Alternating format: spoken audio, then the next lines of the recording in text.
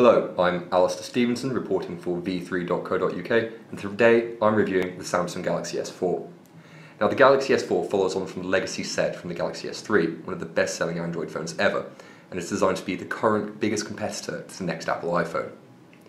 However, design wise, it's not actually that different, and you'd be forgiven for thinking it looks all but identical to the S3, featuring the same pebble-like design and polycarbonate casing. Additionally, it's fairly similar size-wise, measuring at 137 by 70 by 7.9 millimeters and weighing 130 grams. That's just 3 grams lighter than the S3. This in some ways is good, as it means it's comfortable in hand, but in other ways it's quite bad. Build quality has been an ongoing concern about Samsung Galaxy phones, and this is equally true on the S4, with its polycarbonate casing feeling fairly flimsy, and even when you remove it, it in general just feeling a bit cheaper than its £600 price tag. This is a bit of an issue considering how top-end devices like the iPhone 5 or HTC One feel by comparison. That said, it does have a number of nice things about it, chief of which is the display. The Samsung Galaxy S4 packs a 5-inch display with an astounding 441 pixel per inch density. That means it's really nice to look at, has, it's wonderfully crisp, has brilliant viewing angles. We're less enamoured however with TouchWiz. Again, TouchWiz has been an ongoing problem for Samsung devices now, mind, generally overloading them with bloatware and custom widgets that you really don't need. You can see here a great example of this with the Samsung App Store. The App Store basically has all the same similar services to Google Play Store and doesn't really add anything to the OS. But still, it's uninstallable, which means you don't have the ability to get rid of it, only move it out of sight, which is a bit of an annoyance for anybody using the device. Other uh, not so good additions include iScroll and Air Gesture. iScroll is a nifty feature designed to let the S4 know when you finish reading text on a page and automatically scroll down, whereas Air Gesture is meant to let you interface with the device using Minority Report style gestures. Testing the two, we found they don't really work that well, especially iScroll, which in general is there's a bit of a knack to actually getting it to recognise when you're reading, involving you making pretty over-the-top movements and taking a while to actually re recognize your input and scroll down. In general meaning, it's quicker and easier to just use the traditional finger input. That said, there are a few nice touches. One of which is the addition of S-Translator. Now, S-Translator is a nice little service that lets you speak into the phone or have somebody else speak into the phone, and it'll then translate whatever they said into the, your own language. This means if you're abroad and don't speak the local lingo, you can actually get your point across without having to do an embarrassing game of charades, which, having been abroad a few times and British, is pretty useful.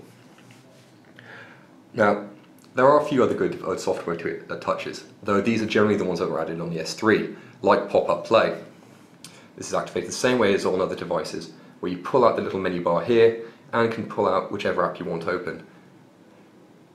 This then lets you have two apps open at any one time, Pop-up play is also the video feature, which means that while these apps are open, you can take a video from the Video Hub, uh, take it as a thumbnail, and drop it anywhere you like. In terms of actual performance, the S4 is pretty reasonable. It features a 1.9 GHz quad-core Qualcomm Snapdragon processor. Power aficionados will be sad at the lack of an octa-core processor, but as we said about all quad-core devices, they're a bit ahead of their time and there isn't any app demanding enough to really make a quad-core device available on the Google Play Store at the moment, meaning at the very least this, you're still future-proofed with the Samsung Galaxy S4. The camera is another interesting part. The S4 packs a 13 megapixel rear camera that's backed up by a 2 megapixel camera. In terms of image quality, we're quite impressed with the device, with it taking crisp and fairly good photos, each with a good colour balance and decent brightness levels. Additionally, unlike things like the Xperia Z, which also has a 13 megapixel camera, we've noticed the S4's snapper is great at taking photos noise free, even when you have awkward lighting, like mix of artificial and natural.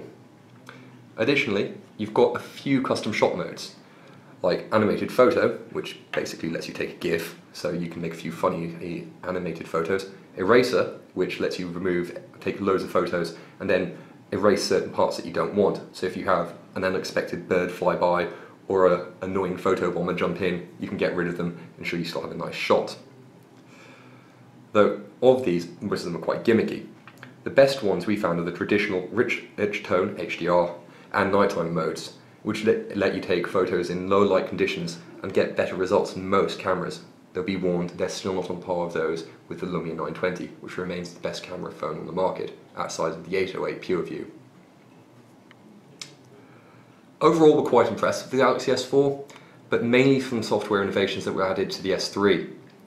The newer parts of it aren't that good, and for this reason, we're thinking, especially given the lack of certain key features like Knox Business Support, a useful service for businesses that, like BlackBerry Balance, lets you create separate sandboxed areas so you can have work and personal areas where your company can control what you do on the work side, so what apps go on, and do remote wipes of anything, without actually affecting stuff on the personal side, meaning your family photos should remain safe from your company should they choose to wipe the device. For this reason, while we're thinking the S4 will do very well and will probably be 2030's best-selling Android phone, we're not so sure it's going to beat the Apple next Apple iPhone in terms of sales. I'm Alastair Stevenson, thanks for watching.